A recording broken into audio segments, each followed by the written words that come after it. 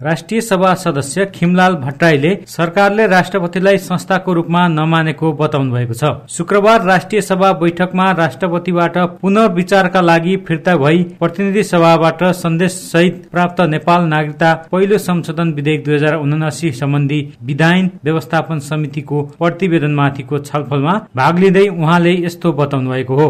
उहाँले राष्ट्रपति व्यक्तिको रूपमा नभई देशको सर्वोच्च संस्था गणतन्त्रको प्रतीक र राजनीतिक प्रतिद्वन्द भन्दा माथिको संस्था भए पनि सरकार सभामुख र गठबन्धनका नेताहरूले त्यस अनुरूप व्यवहार नगरेको बताउनु भएको हो।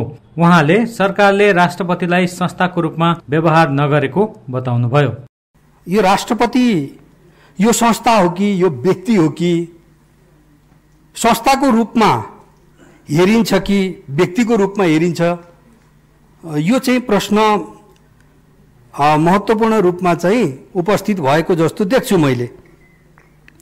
मेरो विचारमा राष्ट्रपति देशको एउटा सर्वोच्च संस्था हो गणतन्त्रको प्रतीक हो र राजनीतिक प्रतिद्वन्दिताभन्दा माथिको संस्था हो यो।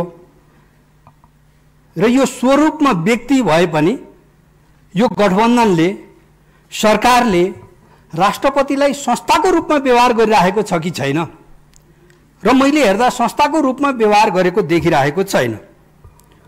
पछिल्लो पटक यो राष्ट्रपतिज्यूले असाध्यै संवेदनशील भएर खास गरी यो नागरिकताको विषयमा जुन प्रश्न उठाउनु भयो जुन सन्देशको रूपमा चाहिँ प्रतिनिधि सभा जहाँबाट यो नागरिकता ऐन उत्पत्ति भएको थियो त्यही ठाउँमा विधेयक उत्पत्ति भएको ठाउँमा उहाँले पठाउनु भयो सङ्घीय संसदलाई सम्बोधन गरेर।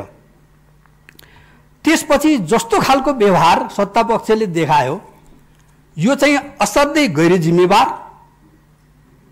सत्ता गठबन्धनका नेताहरू सरकार प्रधानमन्त्री प्रतिनिधि सभाको सभामुख उहाँहरूले जुन ढङ्गको चाहिँ व्यवहार देखाउनु भयो यसले चाहिँ राष्ट्रपतिलाई संस्थाको रूपमा मानेको देखिएन।